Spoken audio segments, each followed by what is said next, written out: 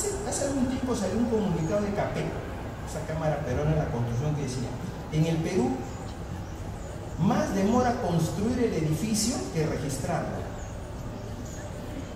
Ojo con esa frase. Más demora la construcción que yo lo registre. Eso que suena hasta visible, ¿no? Y, tal vez broma. No, eso sabes qué? Esconde una realidad bien triste. Porque ¿qué cosa me está implicando? Que hay un sistema registral entrampador. No, no, promotor. Fíjense ustedes, ¿cómo se, ¿cómo se registra una fábrica en el Reino Unido? En el Reino Unido es un país del cuarto mundo, es un país subdesarrollado, que no tenemos nada que, que copiar. ¿Saben cómo se registra una fábrica en el, en el Reino Unido? Para que, digamos, podamos comparar. Ahí solo se hace el depósito del acto municipal. El acto municipal va y se deposita en el registro. Porque se asume que ya nadie va a discutir, ni objetar, ni cuestionar lo que la competencia municipal, que yo siempre se ha dado tantas atribuciones a la municipal diciendo, tú puedes hacer todo lo que quieras, pero sin embargo, eso no fuera tanto así entre el Tribunal Constitucional equivocado. Porque él dice, municipalidad, amo y señor del urbanismo, pero no sabe que y señor del urbanismo es el registro. Porque el registro le objeta todo a la municipalidad. Hasta la competencia para decidir qué es urbano. Lo decide el registro. Es decir, tenemos un sistema jurídico de cabeza.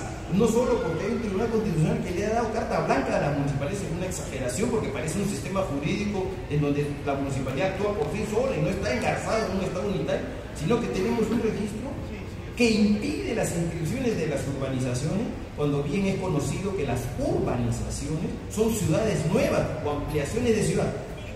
Cuidado con entender el derecho urbanístico como una suma de procedimientos, trámites, plazos, silencios positivos, silencios negativos, que no hay todos, casi prácticamente son positivos.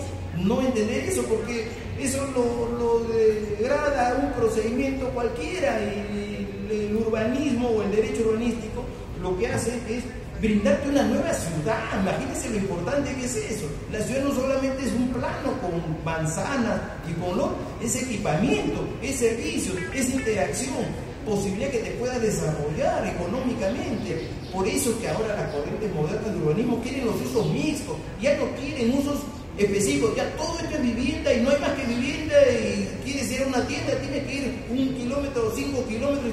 No, Ahora lo que se profeta es al uso mixto, que tú tengas a la mano a, lo que puedas, aunque te demore caminar 5 o 10 minutos, una tienda, un centro comercial, una, oficina, que tú puedas trabajar cerca. No esa ciudad donde tú estás como en compartimentos estancos, acá solo es eh, vivienda y industria, está muy lejos y comercio también. Y no, ahora lo que se quiere es unidad, se quiere que compartamos, se quiere interacción.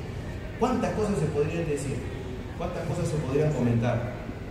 Eh, yo les agradezco a todos su presencia, ya lamentablemente tenemos que ir cortando por cuestiones de agenda.